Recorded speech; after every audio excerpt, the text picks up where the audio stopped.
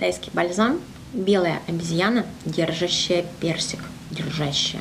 Такое вот большое длинное название. А, бальзам маленькая баночка, 18 грамм всего.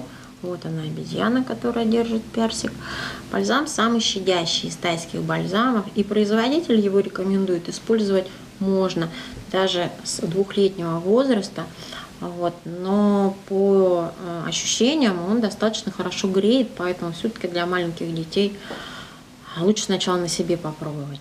А бальзам этот позиционируется для использования при различного рода невралгиях, лицевой, межреберной, а, тройничного нерва. Ну и также, конечно, он универсален, как и все традиционные тайские бальзамы.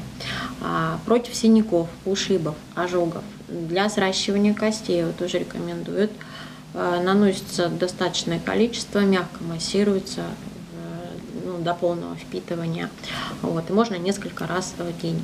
Такой бальзам вы всегда сможете приобрести на площадке нашего интернет-магазина Аптека Тай.